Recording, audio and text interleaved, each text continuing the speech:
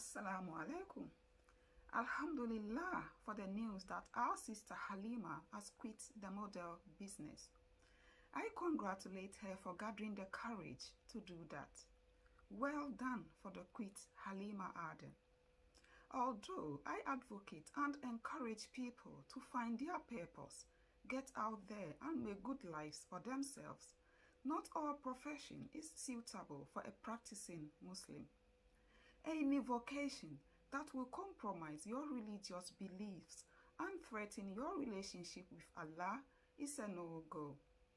I am delighted that you re-evaluated your career and made a decision to turn your back on all the glamour. Please remember that many people are on your side. As you rightly said, you don't need to conform to society's standard. With every difficulty, there is ease. As a pace setter and role model, you've made yet another decisive move. Allah has plans for everyone and He got you out of this job. He will give you a befitting one on which you will say, Alhamdulillah.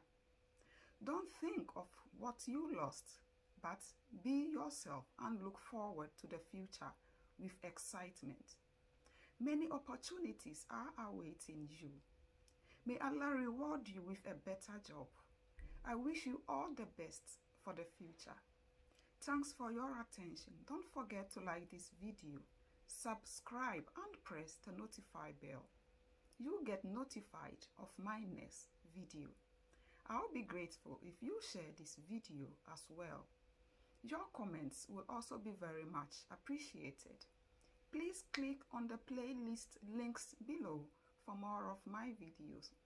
See you next time. Wassalamu alaikum wa rahmatullahi wa barakatuh.